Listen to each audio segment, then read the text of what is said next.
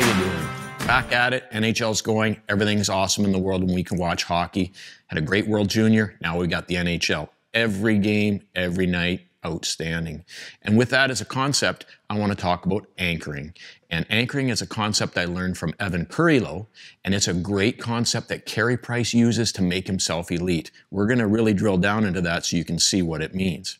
As well, we're going to get Cole and Spronse on the ice and work a little bit on stick involvement and three key features of good stick rebound control. We'll break that down for you in detail as well. For all you goalie coaches out there, we're going to finish with a nice segment on how you can become a better goalie coach and listen to Spronse and I shoot the breeze as we talk about some of the goofy stuff we've seen and some of the great stuff we've seen with great goalie coaches. Let's get going.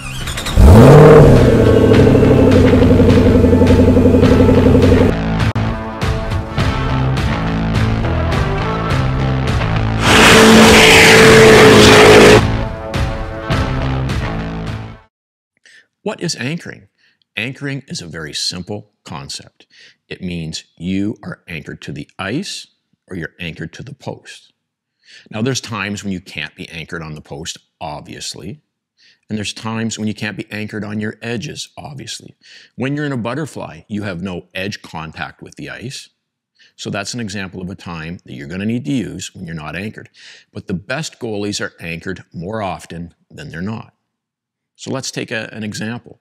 If you're a slide happy goalie that's moving and sliding around in your butterfly all the time, you're not anchored. It has its place in the game, but it needs to be when you need it. You can't be sliding around. You can't be flopping around on your butt, on your belly, and unanchored because that's not going to be good goaltending. And that's why Carey Price is elite. If you look at some of these photos here, you can see he's on his edges a great percentage of the time. He's on the post in a proper anchor a great percentage of the time. And the key tenet with him and with you as a goalie should be you release your anchor the latest possible moment. So just before the puck's about to arrive, you can release your edges and drive down to butterfly. Um, perhaps on a tight centering pass when you're using the RVH and you're anchored to the post, you detach off that anchor to slide out to push to jam them up. So you lose your anchor in the moment just before you make a save. If you're not in that type of a mindset, you're going to find yourself getting scored on a lot. So use the concept of anchoring in your game. Watch some video of you playing and see what percentage of time you're actually anchored in control and poise and great positioning. Look at the times when you're scrambling and battling, shimming around on your knees without edges anchored, or you're detached from the post, floating around. The best goalies with the most poise, the most composure, and the most positional control spend the majority of their time anchored in control. One other element that goes into this, if you're sliding and the puck is en route, and there's times that happens, but if you're sliding and the puck is en route, your head is moving in space. You're not anchored. That is a very difficult projectile to identify, to watch, to see it all the way in. There's going to be times when you need it, but the more often you're anchored, your head is quiet in space and you can see the puck better. So as a goal, let's do this. Look at your game, look at your approach, and see if there's times and places where you can be more mindful about being anchored. So perhaps you can have a great career like that Carey Price fella right there.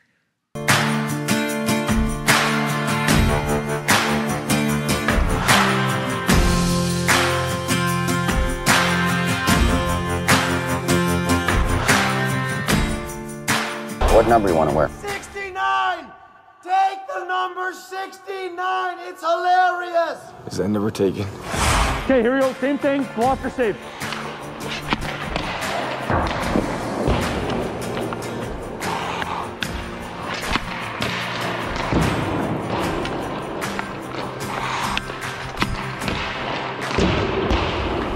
Don't over rotate there, right?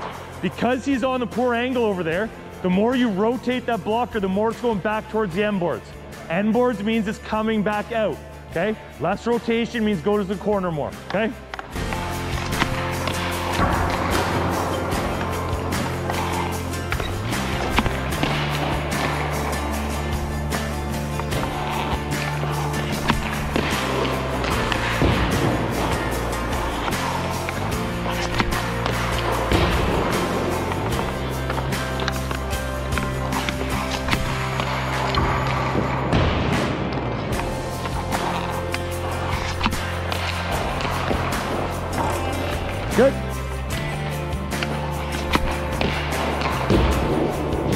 more.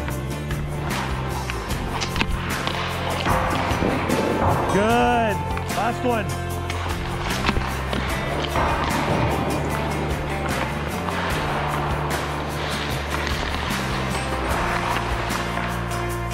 Out some stuff with like defense, like goalie D transitions, them dumping in, you pass to the defenseman. They worked on point shots all practice. all practice. Point shots. Skating and point shots. Smart. 50 minutes. Smart. All right. I've been coaching goalies for 30 years, Spronse 20. We've been around.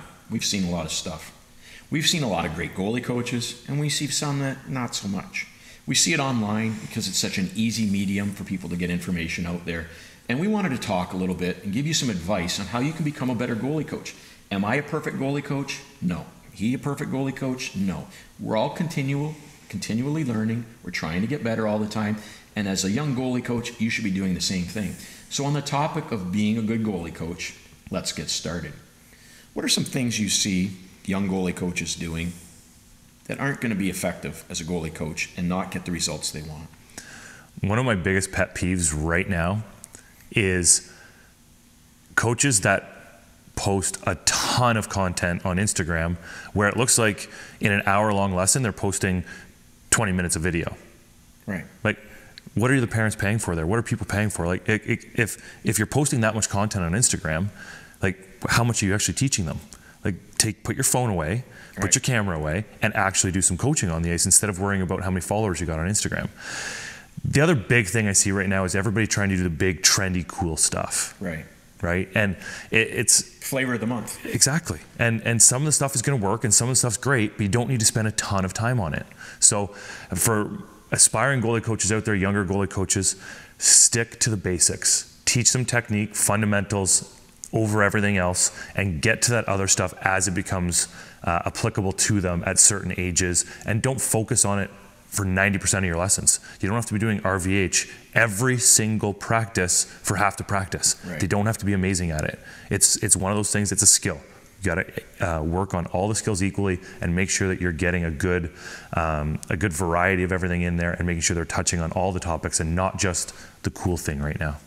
Right. And I think further to that is sometimes young goalies that are coaches now end up mimicking the stuff they learned from their goalie coach. Spronse grew up around me, and I'm sure a lot of the stuff he says to the kids are very similar. But as a school teacher, he's a school teacher. The one thing we know is you got to target your verbiage, your words, to the level of the student. Now, I see on Instagram, I see on YouTube, I see coaches directly that when they're talking young athletes, they try to use big words. Uh, sequential derotation, uh, backside. Like, what are some other big words that you hear coaches using nowadays?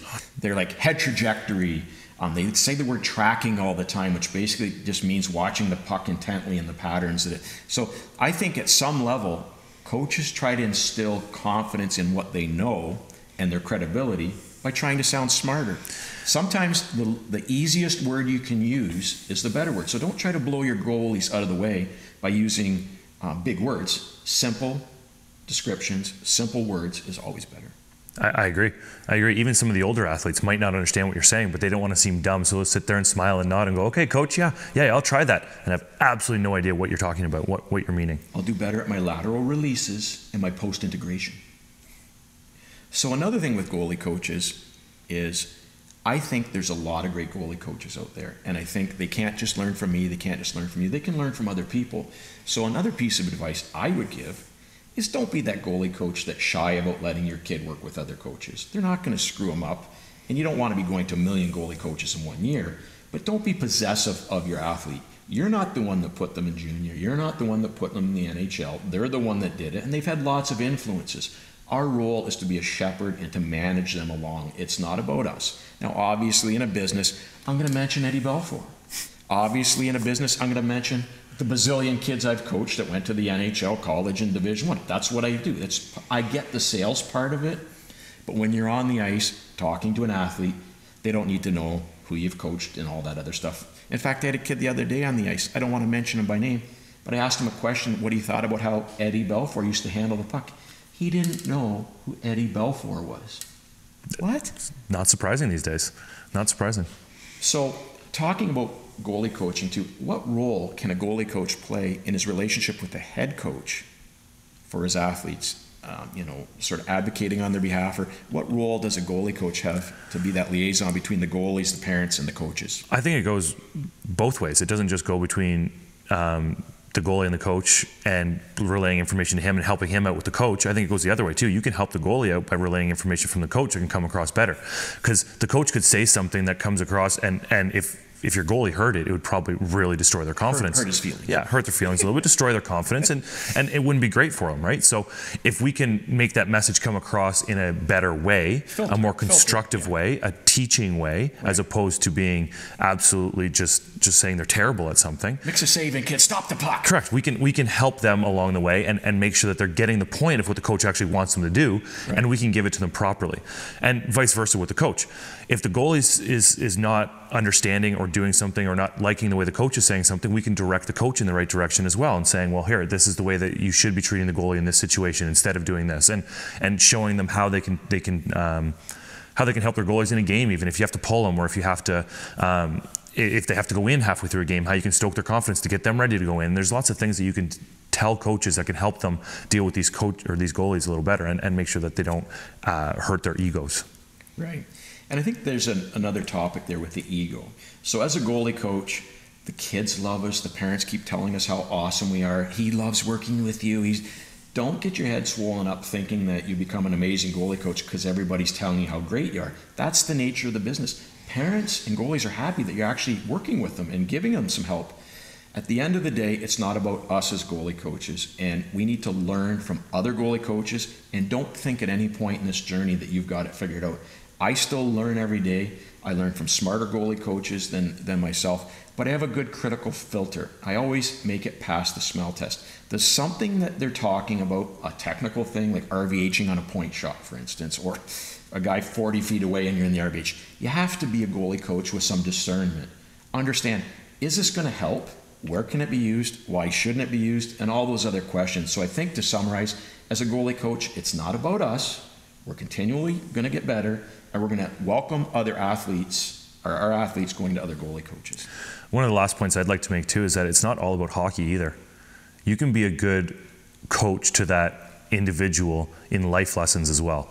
And one of the greatest compliments that I get as a goalie coach is we've loved working with you over these past few years.